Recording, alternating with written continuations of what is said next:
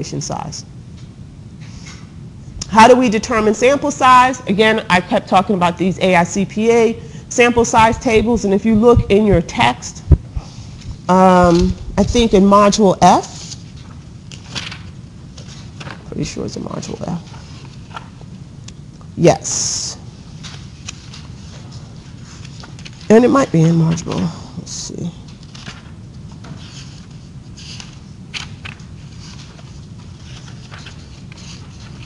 Yes, this is in Module F when we talk about attribute sampling. So if you look at Exhibit uh, F6 and Exhibit F7, right, you'll see it's on page, um, well, if you have the custom text, it's page 598. If you have the full text, it's page 760, or the, the ebook, it's page 760. So it's Module F. And you'll see that there's uh, Exhibit F6 and Exhibit F7.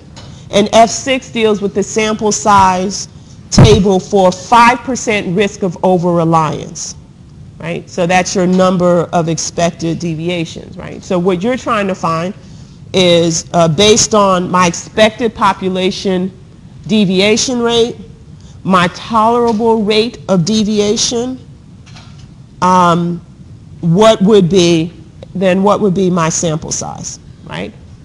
So that's what I said. Your population, the, um, your sample size is going to really be driven by those two things.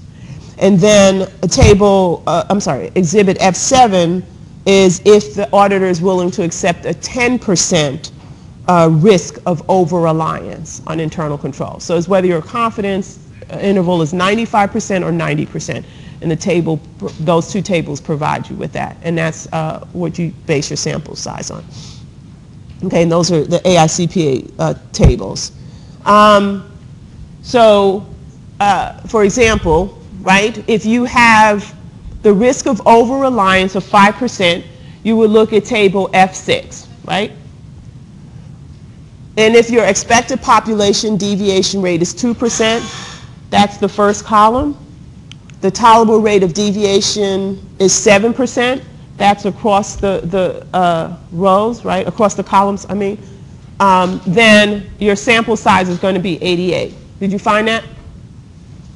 You're at table F6, your population deviation rate is 2%, your tolerable rate of deviation is 7%.